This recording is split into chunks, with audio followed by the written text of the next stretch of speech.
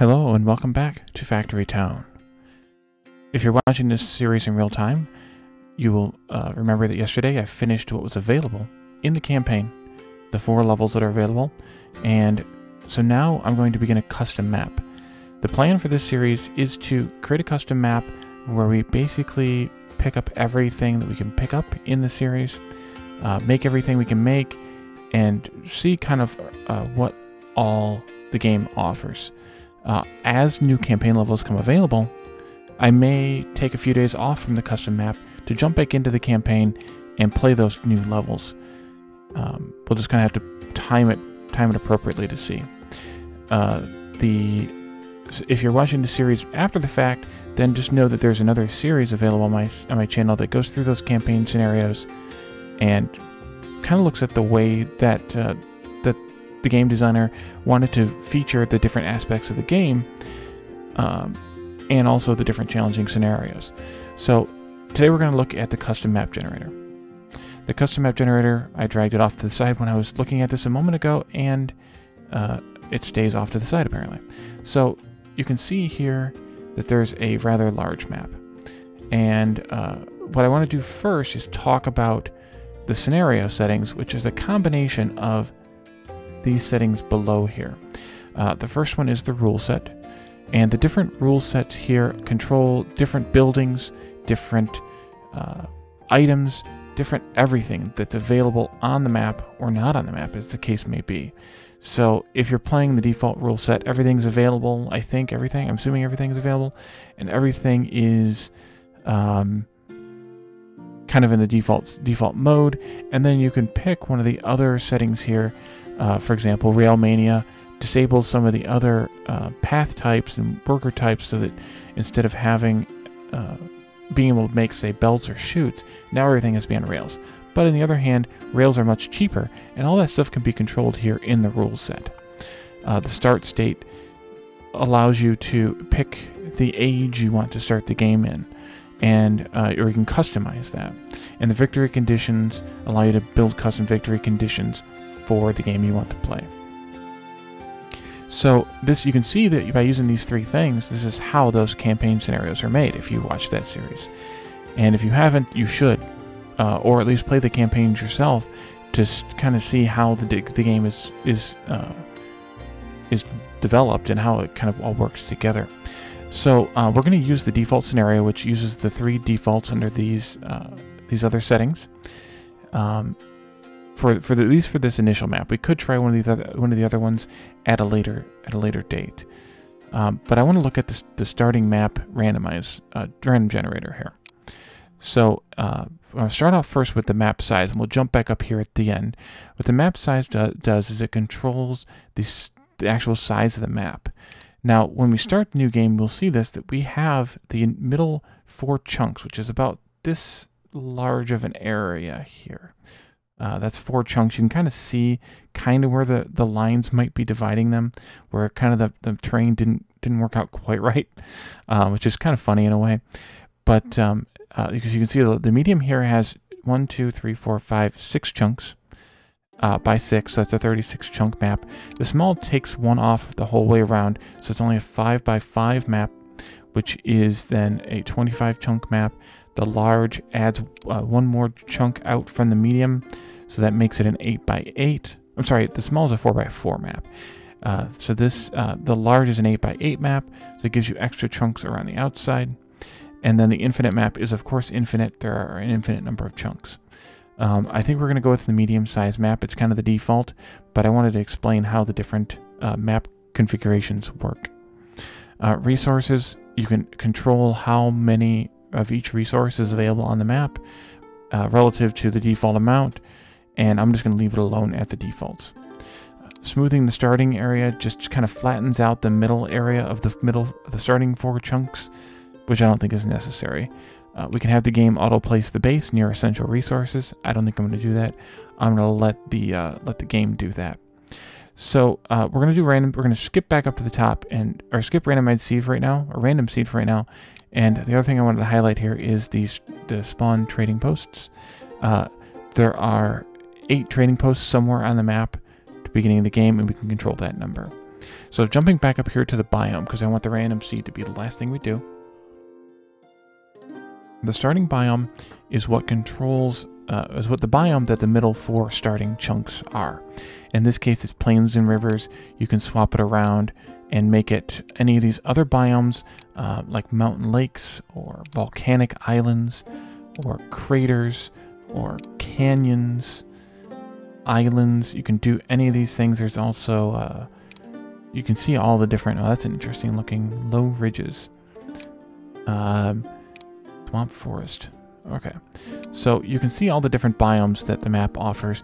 Plains and Rivers is kind of the default biome, obviously since it was one selected, but it's also kind of the one that's kind of most in the middle in terms of the uh, functionality of the game. So in terms of like there's a little bit of hills, there's some water to deal with, there's a lot of resource chunks like like trees and such, but uh, it's not too complicated.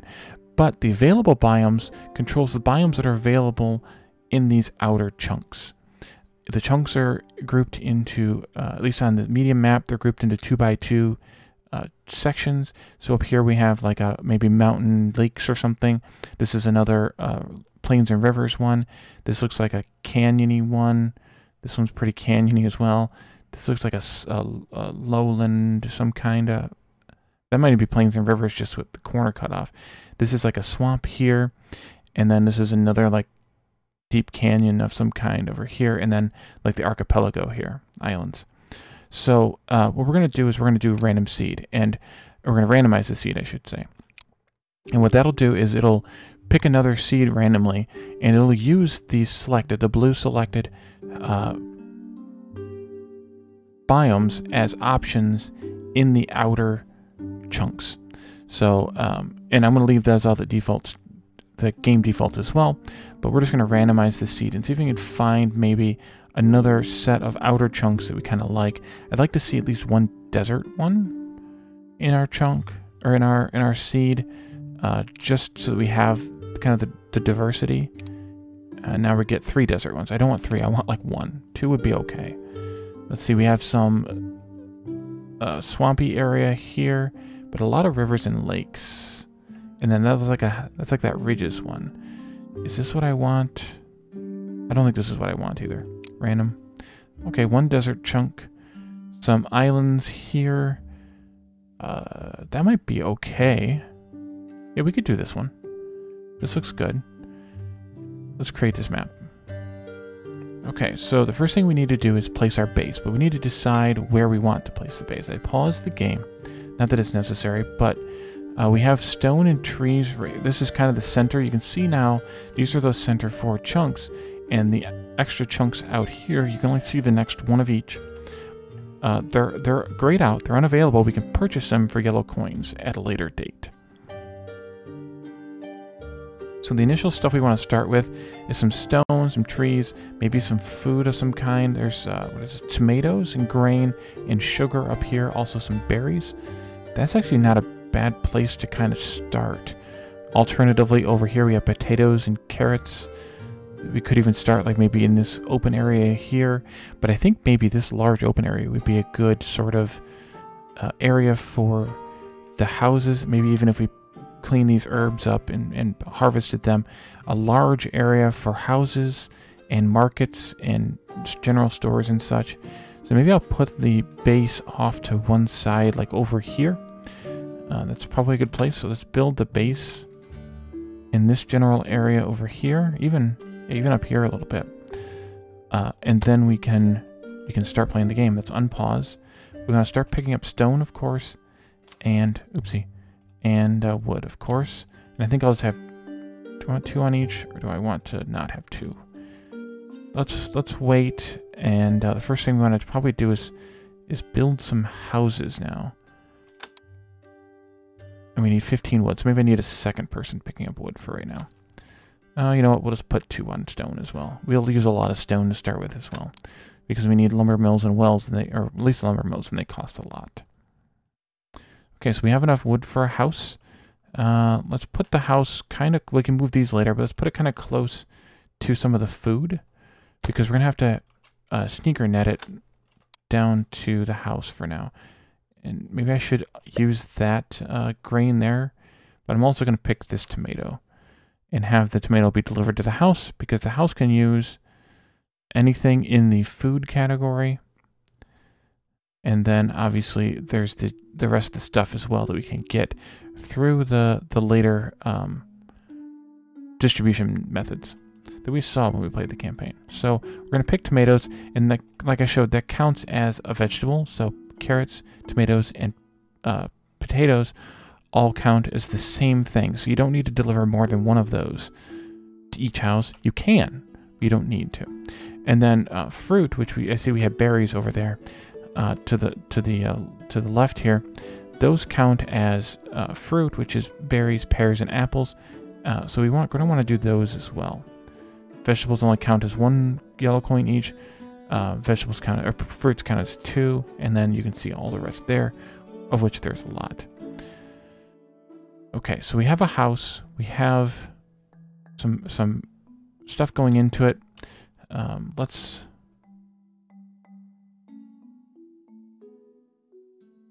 Wait, why can't I build... Oh, I need planks because I'm... Yeah, it's on a, it's on a hill here.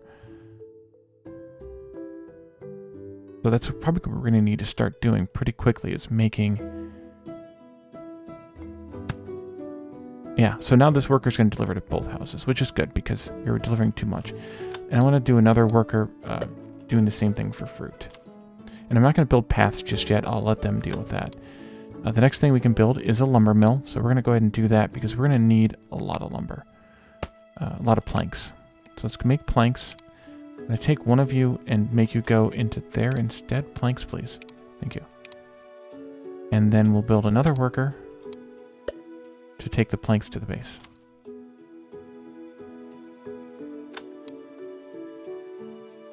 And then I think the next thing to do is upgrade the base once we have five planks and five stone.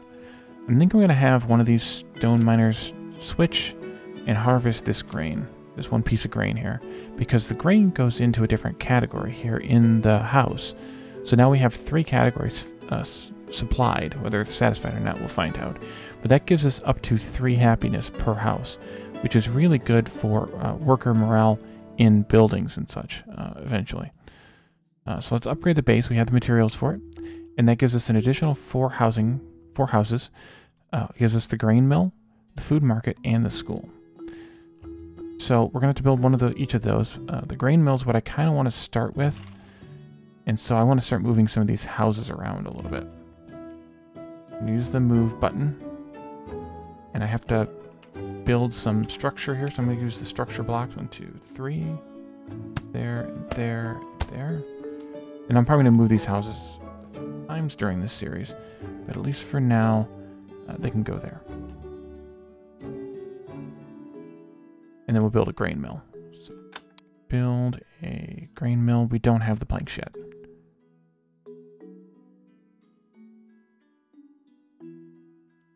Because I used a bunch to build the scaffold blocks.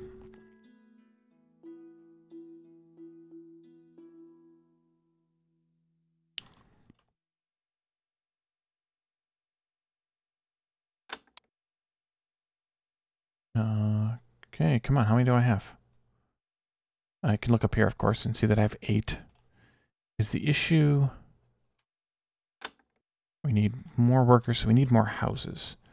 Put another house in here.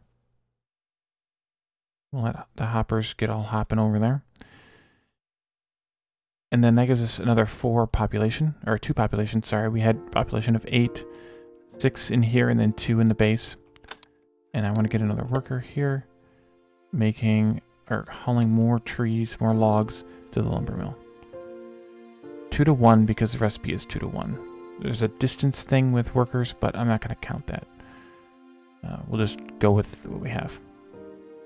Okay, so we should be able to build now a... Why not? Oh, because I used a bunch more. There we go. Grain mill. So the grain mill is good because that allows us to turn grain into flour or animal feed, but flour to start with, and if we look at the house again, we can see that flour counts as four points, four coins, but grain only counts as one. So if we if we supply the grain to the grain mill, uh, we can turn three, effectively three coins into four coins, which is really nice. Three times one becomes four. So now we need, I'm going to use a different, I'm going to let this one continue to mine this. Maybe, yeah, there's only eight left. While we build this up, no population capacity. Oh, right, because, so we built, we added a worker, and then the grain mill has one worker as well. So you can add houses, and you can upgrade houses. But be careful upgrading houses because they demand stuff from markets if you upgrade them. Uh, so you want to only upgrade a house when you have them after you have a market. So at this point, we're better off building more houses, which we can have up to eight anyways. So we're better off building more houses than we are uh, upgrading their levels. Okay, so now we can do another worker here. And we'll put grain into the grain mill. I'm just going to do one for now. And then we'll put a worker here that's taking the flour. You can see when you hover over a building with a worker selected, you have a supply row and a, a, uh, a deliver row. And you can say, I want the, a person to supply grain, supply the grain with grain, and they'll just kind of go to the nearest grain uh, sprout or grain stalk and pick it up and bring it back here automatically. But I like to do the, the right click drag method because then I can say I want you to pick from this stock. And then the deliver everything, uh, you can if this has multiple outputs and you want it to deliver all of it to say a barn, which we'll get to in a minute, you can do that. Or you can right click, you can, you can left click on the flour symbol here and then click on a house. Or right click on a house, sorry, right click on a house. Or you can right click drag from the icon here to the house. And again, as long as all the houses are nearby each other, the the worker will deliver the the uh, will deliver the um, the the the item to the house that needs it, to a house that needs it. Uh, we have a worker who's hauling grain now to to the houses we don't need anymore because they, they finished this grain over here and they instantly instantly came over here. Instead, we're going to have them help out supplying the grain mill, which means that we're going to be oversupplying a little bit, I think, here, but that'll get leveled out once we have a little bit more going. The next thing, the next building we can build, and this is, it's kind of nice that the game lets you, or limits you on these methods to kind of help you learn. Uh, the next building that I would build is the food market. That's going to simplify our uh, item delivery here. But once again, I'm going to need to move my houses around. And let's just put them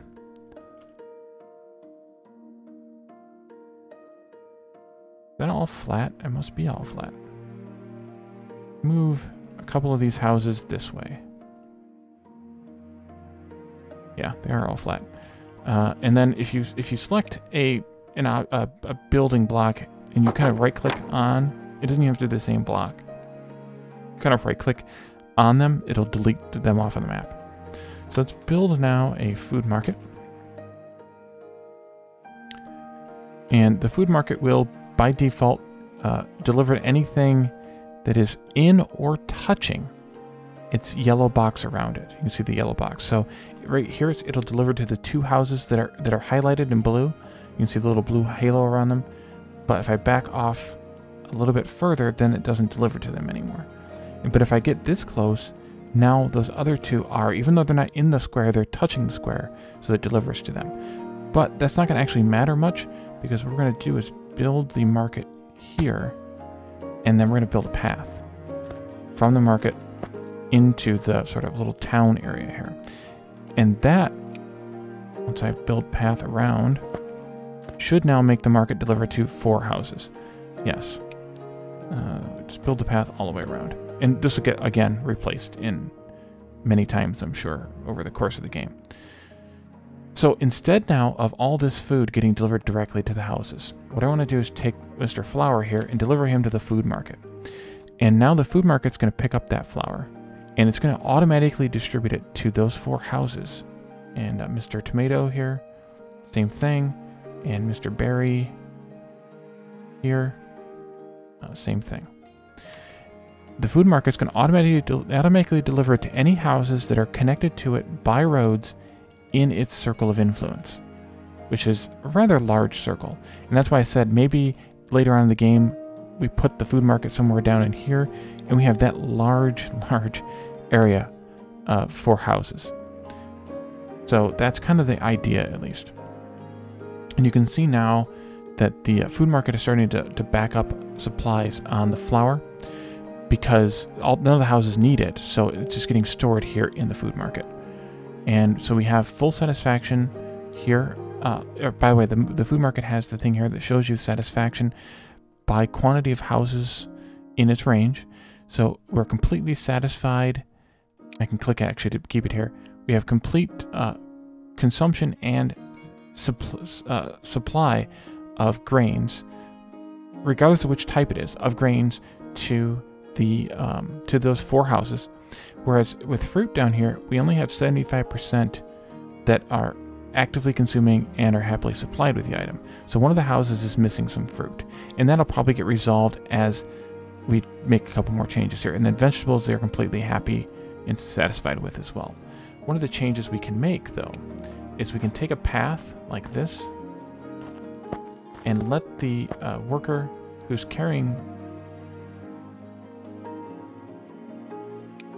the fruit walk along a path and they'll move faster through the area. And so will the worker carrying tomatoes.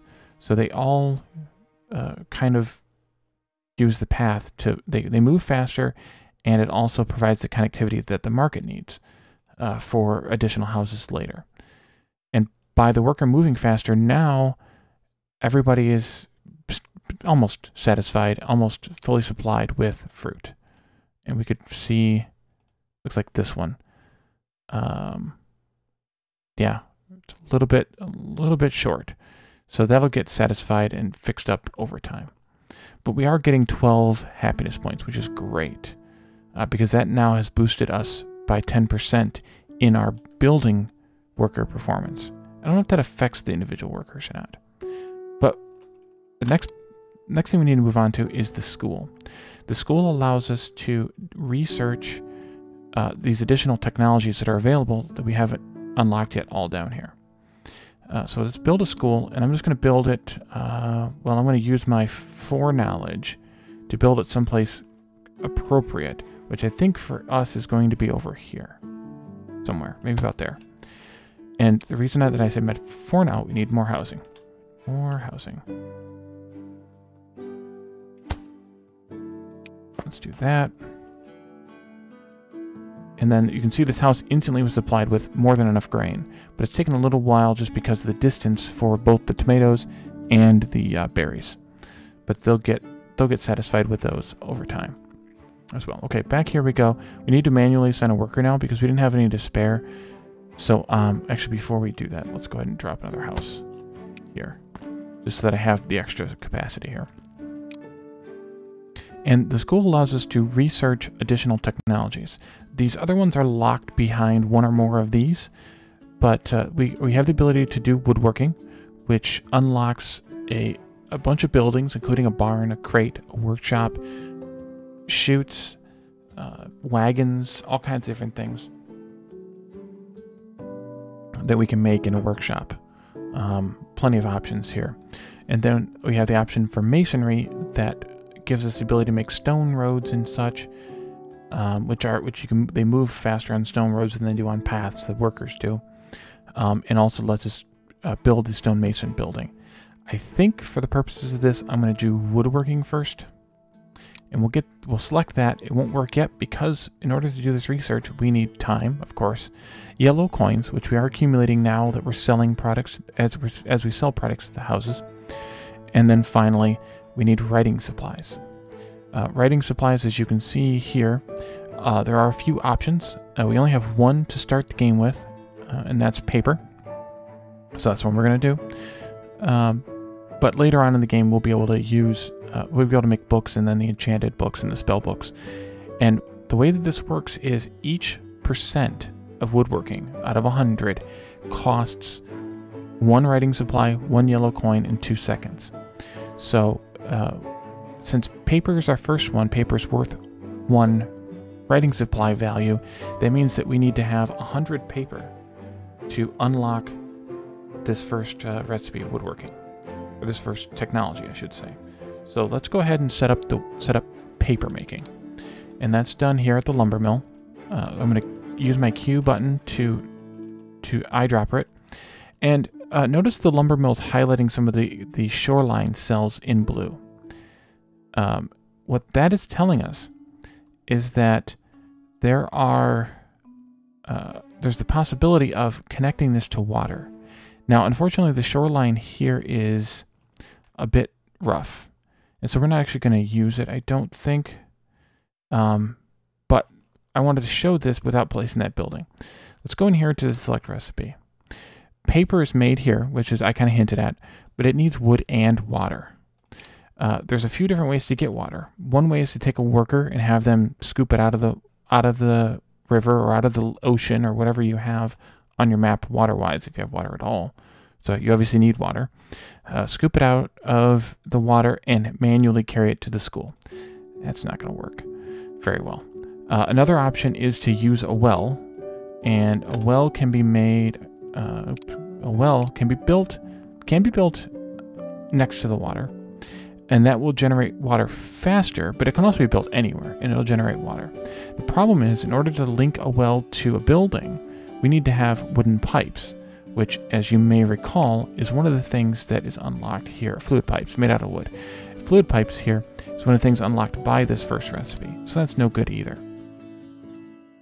So what I want to do actually is move this school over here and build that lumber mill on this side of the map, on this side of the trees. And the reason for that is this is a smooth uh, land here up to the water, and I can put the building on one of the blue tiles, and the building turns blue, and it tells me down here in this link that it's linked to 75 tiles of water, or 81 tiles of water, or 79 tiles of water, depending on which which block you're, which which tile you're sitting on. And so what this tells me is that I can automatically, uh, it's explicitly said down there, but water will automatically be automatically supplied. So I don't, if I build the lumber mill adjacent to the water, I don't have to worry about having a worker picking up buckets of water from the from the river. I don't have to have a well where the workers are hauling buckets of water from the well. I can just build the lumber mill adjacent to the water and it'll be basically like sucked up in the building automatically. And you can see that it is connected to the water here.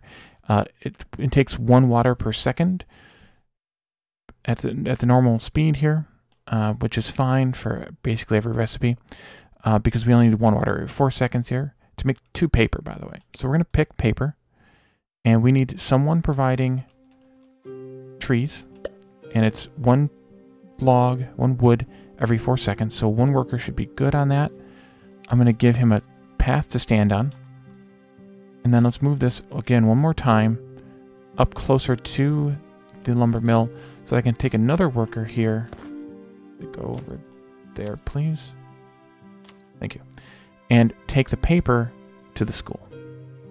And by using these short path, these short distances uh, undercut by a path, that keeps uh, the workers' time to the minimum and allows us to do a lot of research. So we've already done 6, 7, 8% of the research here, which is really good. Really good. Um, so we are consuming this grain at an alarming rate.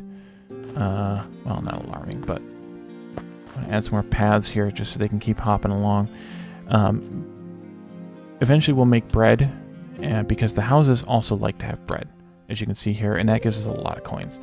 Uh, things like fish we could work on. We can work on things like beef as well once we have uh, pastures, which we don't have yet. Uh, basically, beef...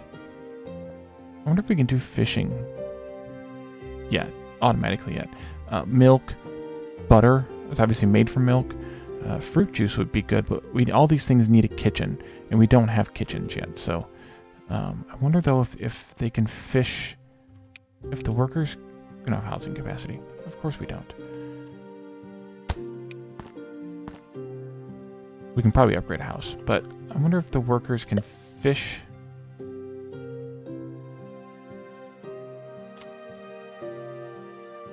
Yes, actually they can. All right, I'm going to leave that worker there doing fishing, shore fishing off of the off of the land here.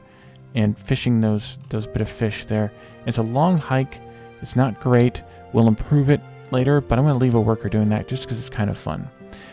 And so we're going to end this episode today by letting the woodworking researching finish because that's kind of what we need to to finish up uh, or to move on with this series. We don't have any other buildings we can make. We've made everything else but the well, and we talked about the well and how that works um, already.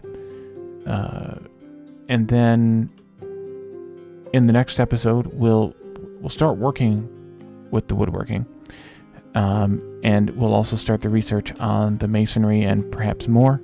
So I hope this was a good uh, first episode for you. Those of you who have been watching my uh, campaign series, you already have experienced some of the stuff that I talked about in sort of the middle of this episode, like the getting started in the map kind of kind of concept.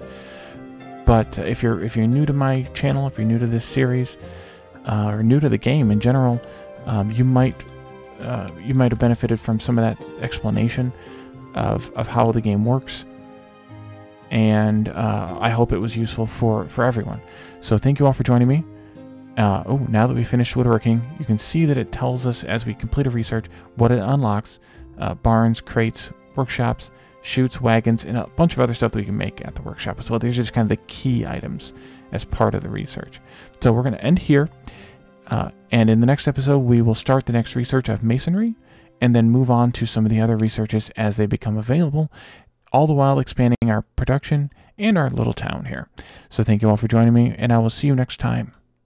Bye for now.